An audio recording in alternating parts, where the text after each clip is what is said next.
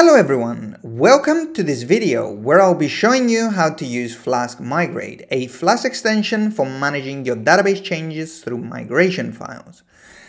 So in the last few videos we went through several Python packages as well as Poetry, a Python package manager. So we've used Flask RESTful for building RESTful APIs, we've used python-dotenv for loading your environment variables from a .env file. We've also used Flask SQL Alchemy for working with your database. So Flask SQL Alchemy is an ORM, so it helps you interact with your database quite easily. So without any further ado, let me show you how to use Flask Migrate. So we go to our terminal and we say poetry add Flask Migrate in order to install Flask Migrate. So once that is done, we will head to our project and we will add the extension we just installed. So here we're going to say migrate and we're going to import that from Flask Migrate. So let's import that.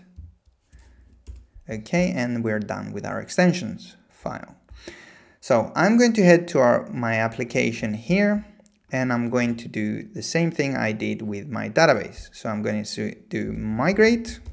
So we're going to import our extension and then we're going to initialize it with our application. So we're going to add app. However, this one needs the database extension as well. So once we add that, I'm going to head to my .env file and here I'm going to say flask app. So here I'm going to say app, and this is the location of my, my Flask application, and it's here for me. If there was a function for creating that, we could have said Flask, so we say create app. So let's say in the application file here, we had a function called create app. It would know how to find it and create it. And this is needed for Flask migrate. So I'm going to close this as we don't need this anymore. And what we need to do now is we need to initialize our Flask migrate folder. So we're going to say flask db init. So what this has done is it has created a migrations folder, a versions folder within that, and then a couple of other files. For now, you don't need to know anything about those files. So I'm going to close this and then I am going to open my model. So here I've got my users model.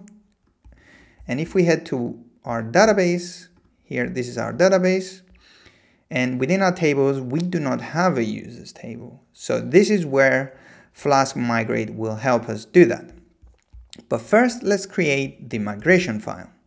So we're going to say flask db and then we're going to say migrate. And you can also specify the migration name. And here I'm going to say initial migration. You don't need to do this, but if you want to add a specific name to your migration file, you can this way.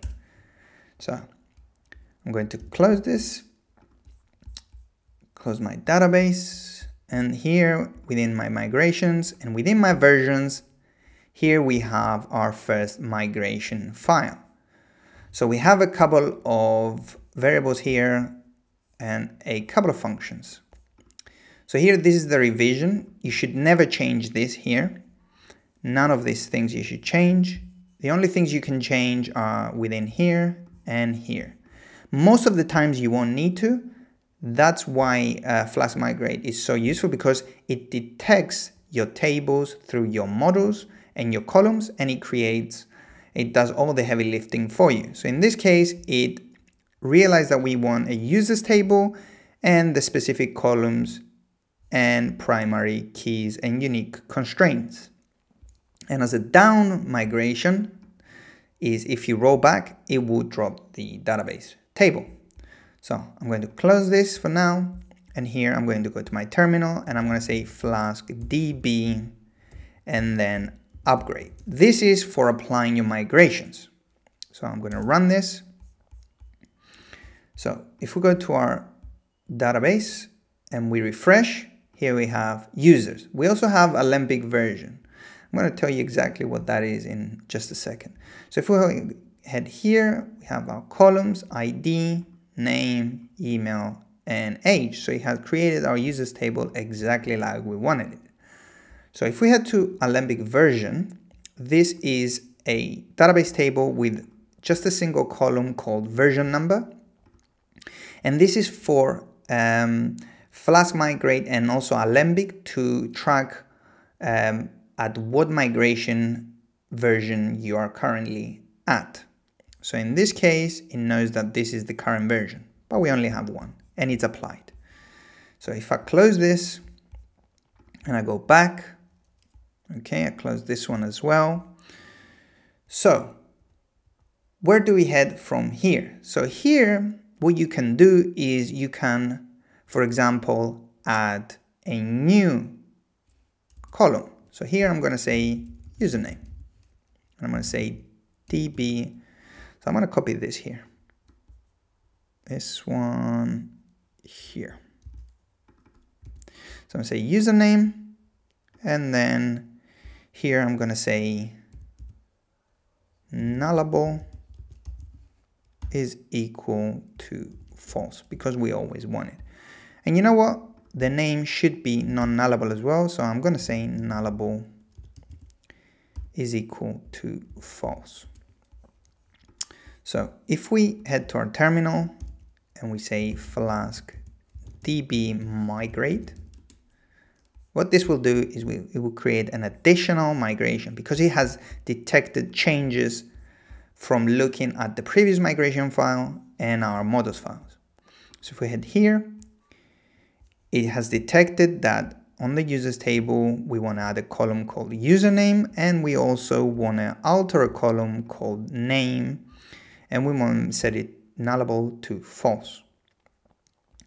And also it has added the downgrade commands. So I'm going to go to my terminal and I'm going to say flask db upgrade. So it has run that migration. So if we head to our database, to our tables and we head to users columns. So if we refresh this, it has added a username column as well as made the name column non-nullable. Okay. So this is how Flask Migrate works. db downgrade and it will do the reverse. So in this case, if we had here, the downgrade was to alter the name and make it nullable to true and also drop the column. So if we head here and we refresh, the name has become nullable and the username has gone. So yeah, this is how you use Flask Migrate. I hope you have enjoyed this video and if you have, please like, comment and share this video as this helps the channel grow so I can keep making these videos. I upload new videos every week about Python and Flask, so if you want to get notified when I do, please subscribe as well as click the notification bell so you can be notified whenever a new video is released. Thank you and see you in the next one.